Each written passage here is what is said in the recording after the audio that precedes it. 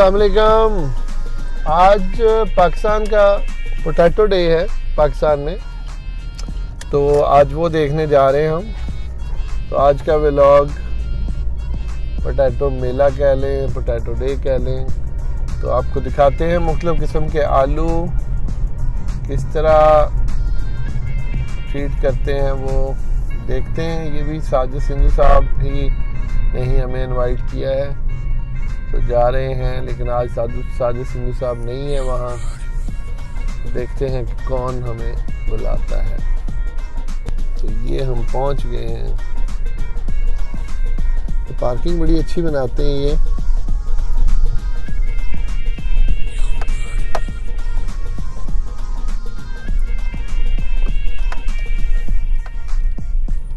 और as usual हम late हैं। देखते हैं क्या बनता है। बिसमीम डॉक्टर यासिन धावा मेरा नाम है और मेरा एग्री टूरिज़म डेवलपमेंट कॉरपोरेशन में जो रिसर्च एंड डेवलपमेंट का शुबा है वो मेरे पास है। जितनी भी चीज़ें पल्सिस से या वेजिटेबल से वैल्यू एडेड चीज़ें बनती हैं, मैं उसको करता हूँ। तो हम आज संडे को कोई ना कोई फेस्टिवल बनवाते रहते हैं। पिछले संडे में हमारा सेटस का किन्नू का और इस दफ़ा जो है हमारा पोटैटो का। तो मैं आपको थोड़ा सा बताऊँ इसका पोटैटो का। बेसिकली ये जो है, ये जनूबी अमेरिका में सबसे पहले इसकी काश्त हुई थी। और फिर वहाँ से ये अमेरिका में आया, फिर वस्ती एशिया में, फिर ये आलू पाकिस्तान, यानी बर सग़ीर में, इंडिया, पाकिस्तान में आया। तो ये दुनिया में जो सबसे ज़्यादा जो चीज़ खाई जा रही है गंदम के बाद वो आलू है। और अमेरिका में तकरीबन छियानवे के जी पर जो है ना, डाटा है कि हर आदमी छियानवे किलो आलू इस्तेमाल करता। तो कुछ मिसकनसप्शन आलू के बारे में कि आलू खाने से बंदा मोटा हो जाता है, ऐसी बात कोई नहीं। आलू में हाई कार्बोरेट है और सिर्फ़ आलू में एक ही चीज़ है, वो ये है कि इसमें विटामिन बी सेवनटीन की कमी है। और अगर कभी आपने आलू इस्तेमाल करना तो आप इसके साथ फिर गाजर का हलवा, गाजर का मुरबा इसको थोड़ा सा इस्तेमाल कर लें तो वो भी आपकी जो कमी है ना, वो पूरी हो जाएगी। तो आलू, ये ये मोनिट्रल आलू है ये बेसिकली हमारी यहाँ का जो आलू है, पाकिस्तान और जो बाहर से आया था आलू, उससे मिल के बना। इसकी खासियत ये है कि इस ये चिप्स वगैरह के लिए अगर आप इसको इस्तेमाल करते हो तो ये क्रिप्सी रहता है। ये ढीला नहीं होता। ये इसी की एक किस्म है शानते हैं। शानते हैं। ये जो है, ये इसमें शुगर बहुत कम होती है शानते की। फिर ये हमारा ये हमारा पाकिस्तानी आलू है। आ, ये इसकी बदकिस्मती है कि यहाँ ये दस रुपए के जी बिकता है हमारा जो फार्मर उसका इसको फ़ायदा नहीं। जिसको कहते हैं मीठा आलू वो है ये? नहीं मी, मीठा आलू ये नहीं है मीठा हो जाता है मौसम की वजह से वैसे मीठा कोई अच्छा ये है कि ये दस रुपए के जी तक बिक जाता है तो अगर इसी को वैल्यू एडिशन पे हम ले आए इसका आटा जो है इसका जो पोटैटो फ्लोर है वो पाँच सौ रुपये के जी है। तो ये तकरीबन पाँच किलो आलू में से एक किलो जो है ना वो फ्लोर आप निकाल सकते हैं। फिर ये हमारा एक आलू की किस्म है ये मोजीका है। ये साहिवाल उकाड़ा की साइड पे इसको बहुत ज़्यादा काश्त किया जाता है। और ये चिप्स के लिए और जितनी भी दूसरी आइटम्स हैं, जैसे आपने टिक्कियाँ बनानी उसके लिए ये बेहतरीन है। फिर ये एक क्रेडा है, ये आस्ट्रिक्स आल है, ये लारा है, और ये जो किस्म है ना हमारी, ये डन स्टार आलू है, ये हॉलैंड से ये इसका बीज आया था पाकिस्तान में। और अलहमदिल्ला हमारे जो जितने भी ग्रोवर हैं, वो इसको काश्त कर रहे हैं। और सबसे बड़ी चीज़ ये क्या है कि आलू जो है, वो लोगों के जहन में एक चीज़ बैठी हुई है कि आलू खाने से ना बंदा मोटा हो जाता है। हालाँकि ऐसा नहीं है, आलू में हाई कार्बोरेट और जिन लोगों को यूरोकेसिस का प्रॉब्लम है, उनको चाहिए कि वो आलू ज़रूर इस्तेमाल करें। और फिर जो छोटे बच्चे हैं, जो दूध पीते हैं, जिनको हम शीर खार बच्चे कहते हैं, उनके लिए आलू का शोरबा और फिर आलू का जो है ना, वो जिसको हम कहते हैं आलू को मसल के पंजाबी में भुरता, वो लाजमी बच्चों को देना चाहिए। अगर ये आप बच्चों को देते हैं तो कैल्शियम और विटामिन की कभी भी बच्चों को कमी नहीं होगी। फिर ये है कि आलू से हम कैसी चीज़ें वैल्यू एडेड बना सकते हैं। तो आलू जो है ना, अभी तक आप, यही कॉन्सेप्ट है कि इसकी चिप्स बना ली, गाजर बना ली। हालाँकि ये देखें, जिन लोगों के सर में को खुश्की का प्रॉब्लम है, ये पोटैटो ऑयल उनके लिए इंतहाई मुफीद है। ये आलू से निकला हुआ तेल है। फिर वो लोग जो ये समझते हैं कि बालों में ग्रोथ नहीं हो रही तो वो पोटैटो शैम्पू भी यूज़ कर सकते हैं। ये पोटैटो शैम्पू है। फिर इससे हट के आजकल जो सबसे बड़ा जो प्रॉब्लम है, वो ये है कि हम वाइटिंग क्रीमें यूज़ कर रहे हैं। उसमें दो चीज़ें हैं, एक हाइड्रोकोलन और दूसरा मरकरी इंतहाई ख़तरनाक हैं। हाइड्रोकोलन अगर आप चूहे की जल्द पे लगा दें तो आफ्टर 15 डेज़ उसको ल्यूकीमिया कैंसर की स्टेज हो जाएगी। तो मैं तो अक्सर रोकता हूँ कि इसको इस्तेमाल नहीं करना चाहिए। तो आप ये पोटैटो का जो पल्प है, उसका स्क्रब जो है, वो चेहरे पे लगा सकते हैं। फिर इसके बाद ये है कि पोटैटो की जो फेस क्रीम है, ये एंटी एजिंग क्रीम है। ये पोटैटो की एंटी एजिंग क्रीम है। अगर आप इसको चेहरे पे लगा लें तो वो झुरियाँ वगैरह जो है ना, वो ख़त्म हो सकती हैं। पोटैटो सिर्फ़ खाया ही नहीं जा सकता, बल्कि इससे बहुत सी ऐसी वैल्यू एडेड चीज़ें बन सकती हैं, जिनसे हमारे ज़िम्मेदार जो है ना उसको बहुत अर्न हो सकती है। तो अगर हम ऐसे ही गवर्नमेंट लेवल पे इस पर ज़्यादा तवज्जो दी जाए तो ये आलू सिर्फ़ आलू नहीं होगा, बल्कि ये एक वैल्यू एडेड चीज़ हो जाएगी। तो मैं शुक्रिया अदा करता हूँ नदीम साहब का, कि वो ये गाहे बगाए हमारे फेस्टिवल में आते रहते हैं और बहुत ही प्यारा ये काम कर रहे हैं। ये मैं तो कहूँगा ये सदका जारी है, जो इन्होंने शुरू किया हुआ। अल्लाह ताला इनको हिम्मत दे कि ये ऐसे ही हमारे फेस्टिवल में तो नदीम साहब नेक्स्ट संडे पे हमारा टमाटो जो है ना फेस्टिवल है तो आप आए इन आपको हम जैसे अरके गुलाब है ना ऐसे हम आपको टोमेटो फेस टोनर देंगे कि ये गर्मी गर्मी आ रही ना चेहरा झुलस जाता है तो अगर आप आप टोमेटो फेस को चेहरे पे लगाएँगे तो फिर आप बड़ी आसानी से सारा दिन गुजारेंगे। थैंक यू जी शुक्रिया जी।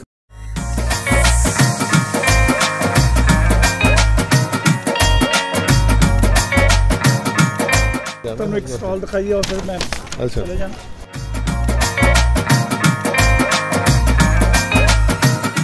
चले जाना ਅਸੀਂ ਕੋਸ਼ਿਸ਼ ਕਰਦੇ ਕਿ ਨੂੰ ਦੌਰਾਨੇ ਤਾਲੀਮ ਚ ਨਾ ਇੰਟਰਪ੍ਰੈਨਰ ਬਣਾ ਦਈਏ ਤਾਂ ਕਿ ਬਾਹਰ ਜਾ ਕੇ ਨੌਕਰੀਆਂ ਲੱਭਣ ਉਸ ਵਕਤ ਤੱਕ ਜਿਹੜਾ ਹੈ ਨਾ ਜੇ ਆਪਣਾ ਜ਼ਰੀਆ ਮੁਆਸ਼ ਜਿਹੜਾ ਇਹਨਾਂ ਦਾ ਨਾ ਉਹ ਨੌਕਰੀ ਨਾ ਹੋਵੇ ਬਲਕਿ ਇੰਟਰਪ੍ਰੈਨਰ तो उस सिलसिले के अंदर कॉलेज के काफ़ी सारे बच्चे हैं ना जिन्होंने उससे लैके आए और मुख्तलिफ चीज़ें इन्होंने उसको बनाई सर बन नहीं गई थोड़ी सर ये भी गवर्नमेंट कॉलेज ऑफ़ टेक्नोलॉजी के फ़ूड डिपार्टमेंट के बच्चे हैं। ये अभी एक साल ये ये भी है बच्चियाँ थी वो चले गई हैं। तो हम कोशिश ये है कि इस एग्री फार्म में हम जो बच्चे हैं ना यूनिवर्सिटियों के उनको लाएँ और उनको इंटरप्रेन्योर बना दें। ये पाकिस्तान में जो ये कहता है ना कि बहुत सी मुलाजमतें वो झूठ बोलता है। मुलाजमत कोई नहीं है। देखिए दुनिया में एक कॉन्सेप्ट है कि आप बच्चे को उसकी इब्तदाई जो उम्र उसी में कुछ बना सकते हाँ। हैं। हाँ बाद में तो कुछ भी नहीं है। तो ये एक कॉन्सेप्ट है यहाँ पे जो बच्चे आते हैं वो एक तो सीख के जाते हैं फिर साथ अर्न भी होता है। तो ये दो चीज़ें जब होती हैं ना कि सीखने के साथ साथ अगर आपको अर्न भी होना शुरू हो जाए तो फिर आप शौक़ से वो काम करते हैं। तो मेरी नदीम साहब आपके तो से गुजारिश है कि यूनिवर्सिटियों में बिठा के तो वो गद्दे बनाने से बेहतर है कि हम बच्चों को बाहर लेके आएँ ज़िंदगी में उनको काम करना सिखाएँ कि देखें ये बहुत अच्छी बात है कि आप अपना काम अपने हाथ से कर रहे हैं। जी जी बजाय इसके कि आप अपनी जूती के लिए किसी का इंतज़ार करें वो कौमें वही तरक्की करती हैं जो सूरज को जगाएँ। और जो कौमों को सूरज जगाता है वो कभी तरक्की नहीं करते।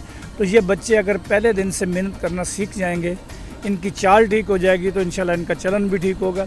और अगर हम यहाँ पे मिस हो गए तो फिर ये बच्चे हमारे लिए मसला बन जाएँगे। जी, बिल्कुल। बहुत शुक्रिया यासीन साहब। ये यासीन रंधावा साहब आपसे हम कलाम थे तो उन्होंने सारा समझाया। अभी हम आगे देखते हैं और कौन से यहाँ, ये वही दोबारा अगर आप गुड़ में देखना चाह रहे हैं तो पिछली दो वीडियो में भी आपको दिखाया था। तो आए ज़रा।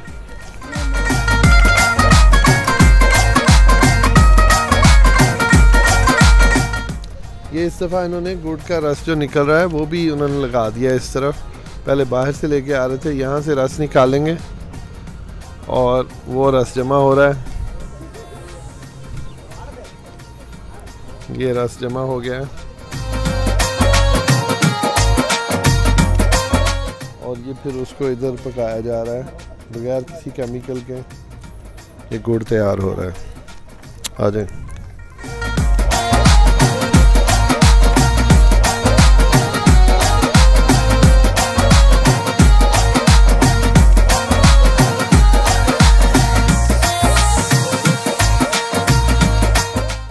अभी दूसरे बूथ पे चलते हैं, यहाँ और क्या कुछ है? दिखाते हैं आपको।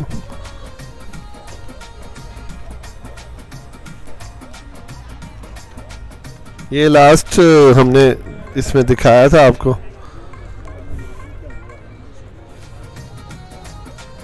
तो आज आपको हम खुश आमदीद कहते हैं, हम अपने किचन गार्डनिंग के स्टॉल पे। इसके, इसमें हमने ये सीड्स जो घरों में घरेलू सब्जियों के लिए सारे सीड्स जो तैयार किए हैं और ये अच्छी क्वालिटी वाले सीड्स हैं और ये नॉट हाइब्रिड ये हाइब्रिड नहीं है। ठीक है जी, हम, क्योंकि घर में इस्तेमाल करनी है सब्ज़ियाँ खानी हैं और ये अगर आप, हम ये थोड़ी सी दो मरले, तीन मरले जगह है आपके पास या इससे भी कम है, वहाँ पे आप घर में सब्ज़ियाँ उगाने के लिए इस्तेमाल कर सकते हैं।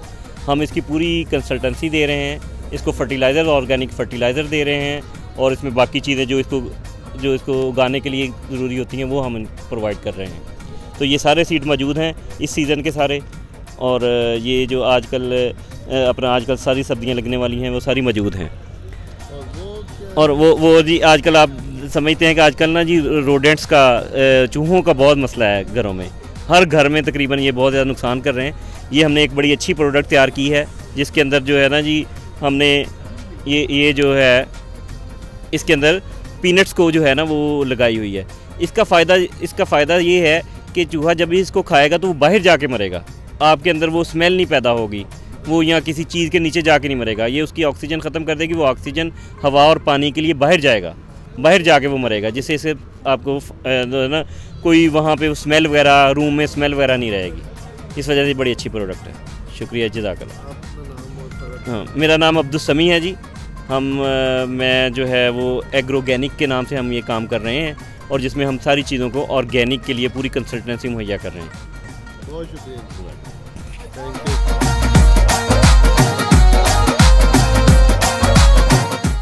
आपने देखा होगा ये बड़ा ही खूबसूरत फेस्टिवल है आलूओं के ऊपर। और आपको मैं चंद फ़वाद बताऊँगा आलू के बारे में। तो सबसे पहले इसके अंदर विटामिन बी सिक्स होता है। तो विटामिन बी सिक्स एक्चुअली हमारे ब्रेन के लिए बहुत अच्छा होता है। तो हमारे ब्रेन फ़ंक्शन को इम्प्रूव करने के लिए आलू एक बहुत अच्छी चीज़ है।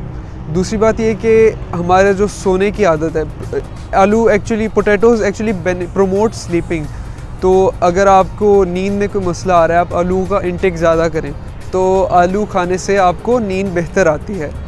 तीसरा ये कि अगर आपको कोई इन्फ्लेमेशन हुई है, कोई चोट लगी है, किसी किस्म का इन्फेक्शन हुआ है तो आपको इन्फ्लेमेशन हुई हुई है किसी भी बॉडी के हिस्से में तो उसको कम करने के लिए आलू एक बहुत अच्छी चीज़ है, इसको आप खा सकते हैं किसी भी फॉर्म में।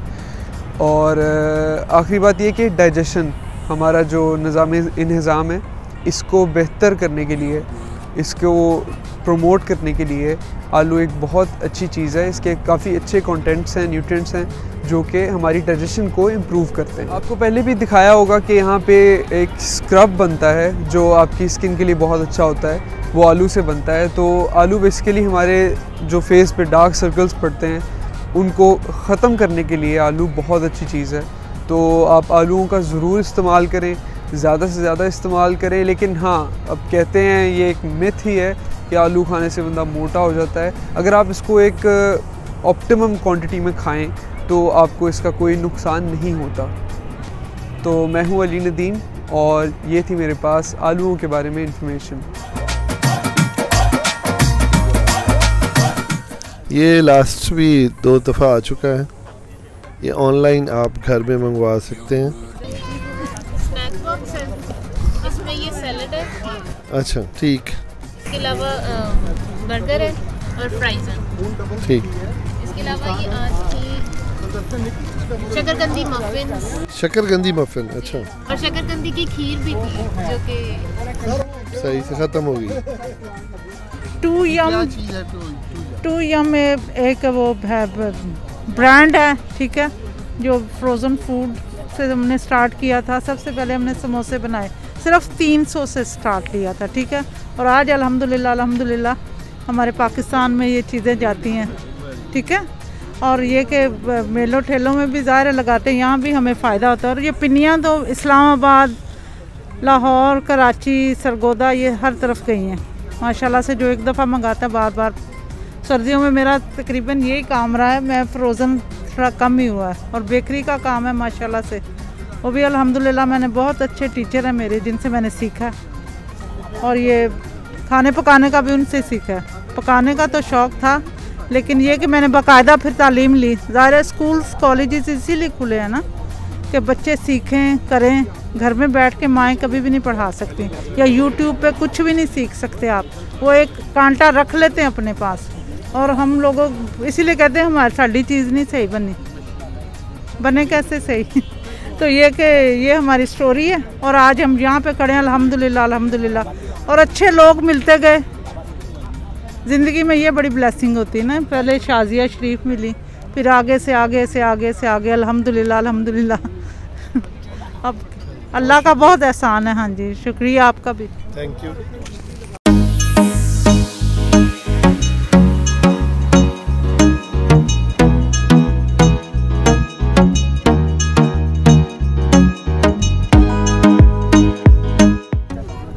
मलंगी ढाबा है ये। आप मलंगी हैं? वेरी गुड जी सर मेरा नाम मलंजी ढाबा है। तो सही नाम मेरा राना अली अब्बास है। तो आज मेरे शतरंदी परांठे चाय बस। शकरकंदी पराठे चाय। चाय जी। आपने अपने नाम से ये रखा। जी मलंजी ढाबा। बहुत शुक्रिया। तो ये मलंगी ढाबा था। शकरकंदी शकरकंदी है?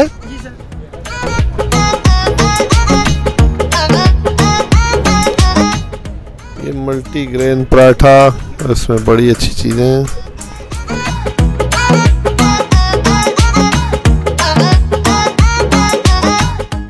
ये नेक्स्ट इंशाल्लाह व्लॉग हम इधर ताहरा एनिमल वेलफेयर फाउंडेशन जाएँगे। ये वहाँ एक हॉस्पिटल है, जहाँ जानवरों को दाखिल भी किया जाता है और उनको सेहत दी जाती है। सेहत तो अल्लाह ने देनी है, लेकिन कोशिश की जाती है। शुक्रिया मलंगी साहब।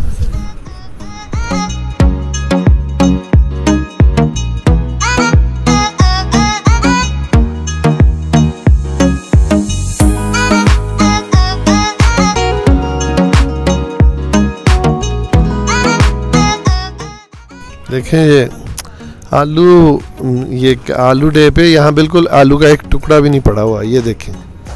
इधर एक एक भी आलू नहीं रखा हुआ आपने। अच्छा चले। जी, आज हम पोटैटो डे है पाकिस्तान में तो उस पे आए हैं। जस्ट वहाँ जहाँ सिट्रस मेला लगा था। तो बहुत ही आला किस्म के आपने अभी आलूओं की किस्में भी देखी हैं। तो इन हम नेक्स्ट व्लॉग्स में आपको बहुत सी चीज़ें नई भी दिखाते रहेंगे। डॉक्टर नदीम सरवर मेरा नाम, और आज जो उन्होंने कहा कि आलू से वज़न नहीं बढ़ता। वैसे मेरे इलम में भी यही था कि आलू से वज़न बढ़ता है।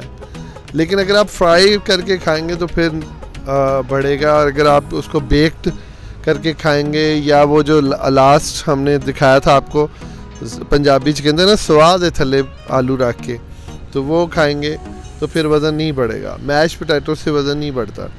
तो आप लोग खाएँ, हर चीज़ खाएँ, लेकिन थोड़ी थोड़ी मकदार से खाएँ। बात फिर वही है कि चिकन से वेजिटेबल काफ़ी बेहतर है। ठीक है? अपना ख्याल रखिएगा। डॉक्टर नदीम सरवर मेरा नाम, मेरा यूट्यूब चैनल सब्सक्राइब ज़रूर कीजिएगा और वीडियो अच्छी लगी तो लाइक कीजिएगा और इसे दोस्तों के साथ शेयर भी कीजिएगा। मिलते हैं इन फिर नेक्स्ट कोई मेडिसन या नेक्स्ट व्लॉग के साथ। अल्लाह हाफिज़।